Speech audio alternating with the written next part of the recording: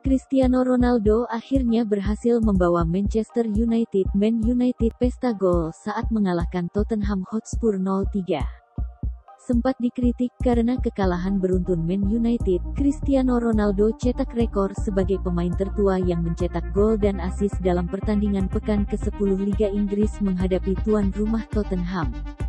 Dikutip bolasport.com dari situs resmi Premier League, meski Spurs tampil lebih mendominasi, Man United justru pesta gol di markas Tottenham Hotspur, Tottenham Hotspur Stadium.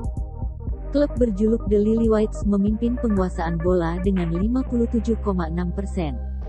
Dari segi peluang, Spurs memiliki 9, tetapi tak ada yang mengarah tepat sasaran, sementara Man United mempunyai 10 kesempatan dengan 4 menuju ke gawang. Cristiano Ronaldo tampil menjadi pahlawan atas kemenangan Man United saat mempermalukan tuan rumah Tottenham Hotspur.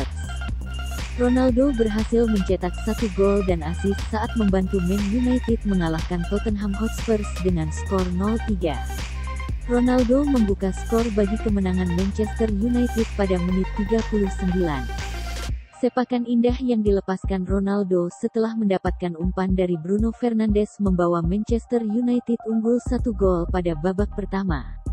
Performa brilian kembali diperlihatkan Ronaldo saat ia berhasil menciptakan asis bagi gol yang dicetak oleh Edinson Cavani pada menit 64. Kegemilangan performa Ronaldo secara tidak langsung juga menyelamatkan masa depan Solskjaer sebagai pelatih Manchester United.